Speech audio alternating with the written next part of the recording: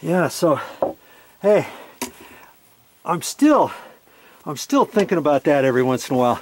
And see, that hole there goes underneath to where the deck was. Well, that hole wasn't even cut out there. I ended up having to cut that out.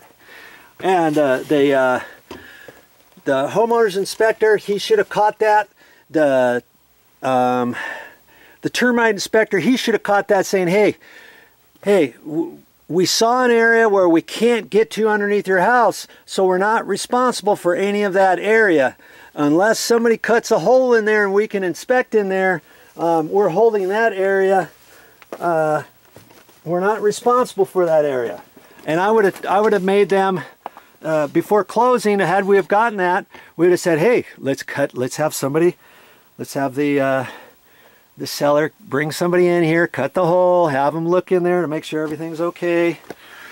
And then we could have seen in there, and then we could have seen underneath the stair, the stairwell, uh, there's another piece of plywood going across where this, where uh, the stairwell is, and that was that was, they wouldn't have been able to look under that. And then I would have said, have them cut a hole in that, look under the stairs, and see how how that looks because that area looks suspect to begin with because uh, the the uh, the the concrete stones on the uh, deck were a little uneven when we looked at it and I didn't know what was causing that. And uh, but then when the uh, when the inspection report came back oh no no dry rot no nothing. He didn't mention it. He couldn't get under here. He didn't mention he couldn't get underneath the stairs. Everything's fine you know, they would have caught all that. And so could we have, we didn't know any of that until after we moved in. Could we have, could we have uh, had any recourse had I not wanted to fix it myself and say, okay, I'll, I'll make some videos. We won't put up too much of a stink. We won't, we won't take them to small claims court. We won't take them, uh, we won't talk to the realtor and, and, and, uh, ask her to get it resolved with the with the previous buyer or through uh, through the closing, through the title company. You know, somebody's insurance should pay for that, right? Uh, even the realtor's insurance, or somebody needs to get sued, or small claims court, or something. We could have we could have gone, gone all kinds of different areas uh, to get some sort of recourse, but uh, you know, you can decide you can decide for yourself what to do. I decided to go ahead and fix it and it, it gave me a chance to make, like I say, make all those extra videos and stuff and uh, and there you go.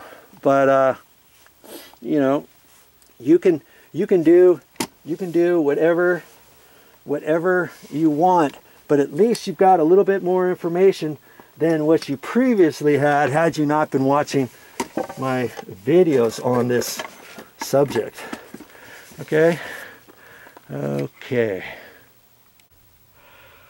Whew. And on the last note, for buyers and sellers of houses, if you're a buyer and you want to buy a property, I'll even show you how to get a set of plans, an approved set of plans and whether or not uh, uh, the house has any room additions, remodels, kitchen remodels, uh, water heater replacement, air conditioner replacement, deck replacement, pool add-on, all that kind of stuff. I'll show you how you can check that. It's something that you could check on your own and it's not that hard. Anybody can do it.